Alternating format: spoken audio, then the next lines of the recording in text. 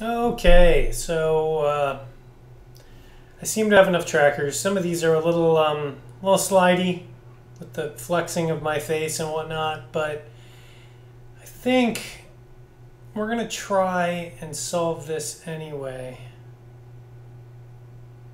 I'm going to do one more. I'm going to do just one more to give myself a little more three-dimensional coverage.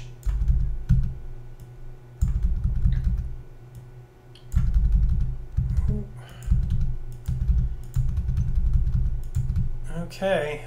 Oh, and and it goes bananas right about there. So awesome. You know what? I'm going to turn it back on and get the last three frames. So, so good. So here's, we're to do, um, I'm to do one more thing first. Oh, here we go, sensor size. It's right at the top. So it's a 22 millimeter sensor.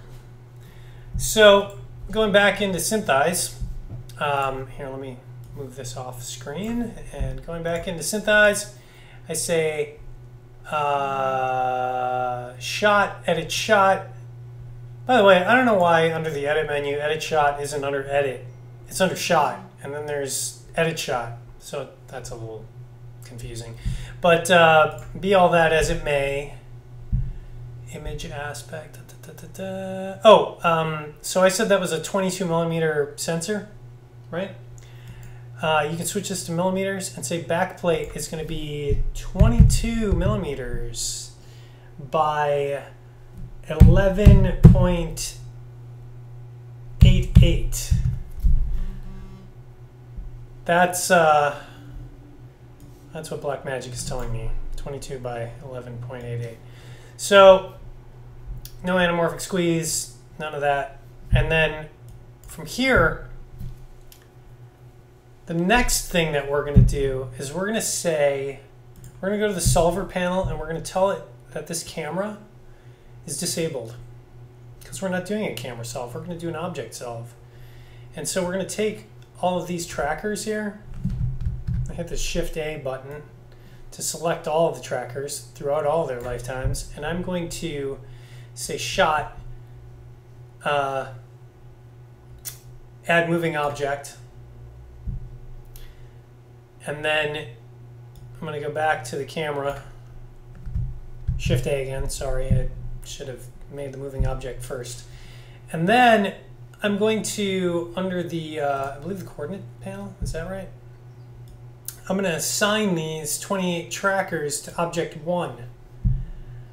I don't want to clone the trackers. I want to just move them. So I'm going to hit no to that. I'm going to go shot, object 1, and now all of my trackers are now assigned to object 1. So, we're going to go to the solver panel. I'm going to say automatic, undirected, and I'm just going to hit go. And I'm going to get a point cloud, which looks roughly face-shaped. Yeah, that's, that's not bad. Yeah, look at that. So, yeah, that, that solution looks pretty good. Now you gotta remember, these trackers, these points that were solved here, that uh, they're all for different stages of my face flexing. So they're going to be very close to one another. You have to be careful if you do any shot cleanup and try and consolidate trackers. Like maybe you might go to the shot, to, I'm sorry, the track cleanup trackers and clean up everything. And you might go to, uh, oh, where is it? Um, coalesce nearby trackers and examine. Oh, look, there are none. Sometimes it'll capture things like that. You have to be careful. So, but that that's a pretty good pretty good solve, I'd say. Uh, I'm going to stop the recording again, and uh, I'm going to bring in some geometry and line it up. So there you go. This uh, Let's go to the 3D panel and say layout, uh, quad, and yeah, this this looks like a pretty good track. This looks like it's going to work. So uh, there you go.